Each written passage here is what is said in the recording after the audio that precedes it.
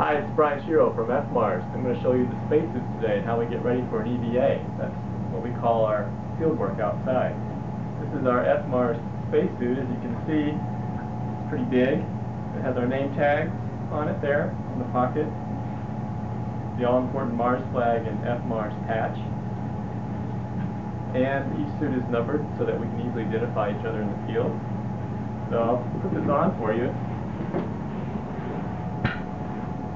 Step in like this.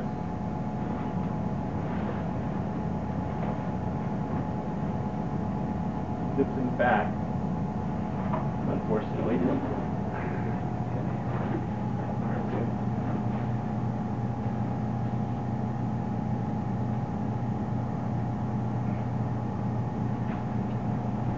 Sometimes we need help.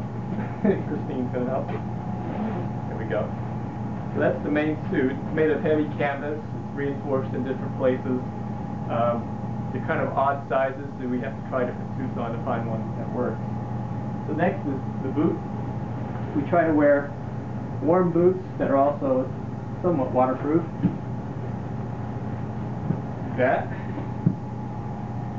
Okay. So the next thing is pack. And Joe's done a lot of work on these packs since we got here. I'm putting the finishing touches right now on one of the spacesuit backpacks. And basically tore it completely apart, rebuilt all the components of it, the hoses, uh, spray painted the backpack frame.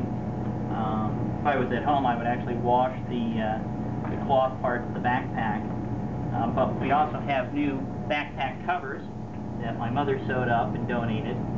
Uh, so these things are going to look good as new. Inside the packs are some fans, and the fans suck in air and blow the air through the hoses into our helmets so we don't suffocate. So that's much appreciated.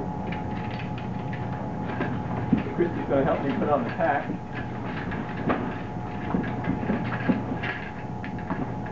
Okay. Oh, there you go. These uh, suits were all made by Mars Society volunteers. They're not real suits, as you can tell but they uh, simulate some of the bulkiness and you know, cumbersome nature of real spacesuits.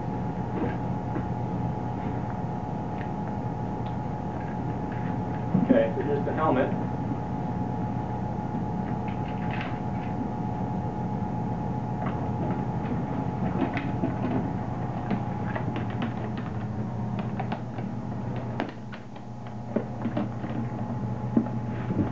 You're not quite lined up in the back, hold on. Okay. Line up. There we go. Perfect.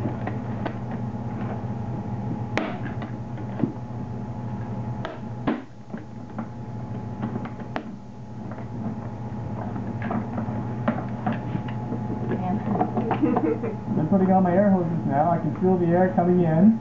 Feels good. It's cool. I can breathe. And uh, of course, the final step are gloves.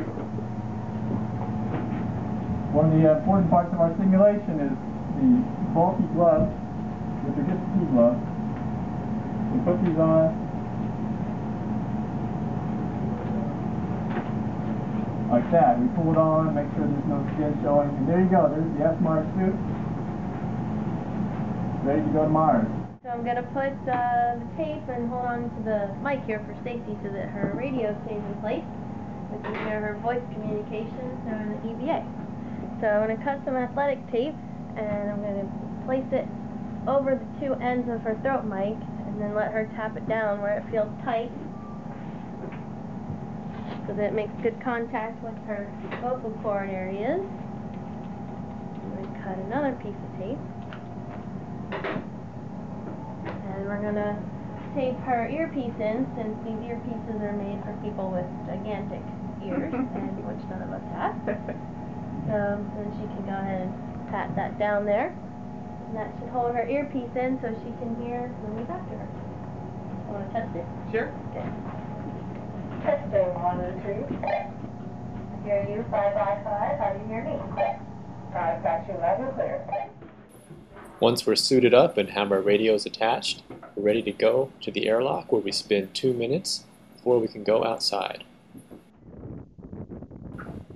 From Devon Island, this is Brian Shiro saying thank you for watching. Remember, you can follow this expedition at fmars.org or on my blog at astronautforhire.com. On to Mars!